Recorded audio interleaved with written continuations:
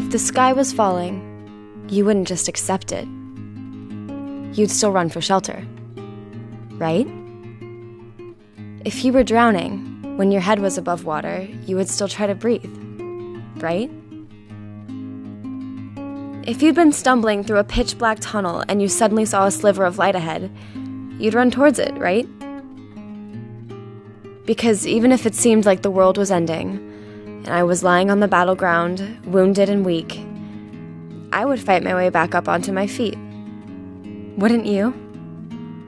We think we know how our lives will turn out, or at least we have some idea of how we want them to.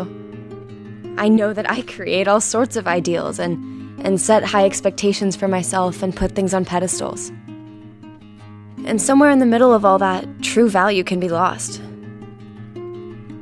And when life has a different plan than what I imagine for myself, I have to adjust.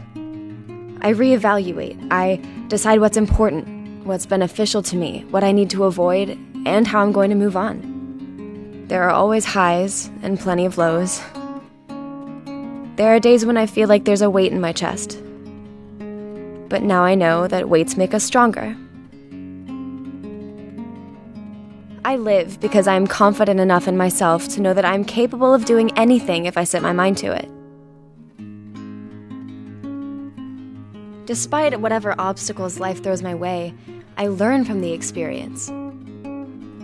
I strive to better myself and my community despite any and all odds. I fight my way back onto my feet.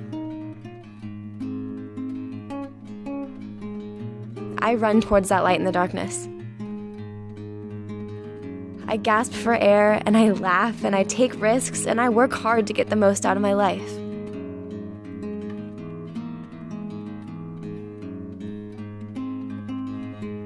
My name is Madeleine Moore, and I am resilient.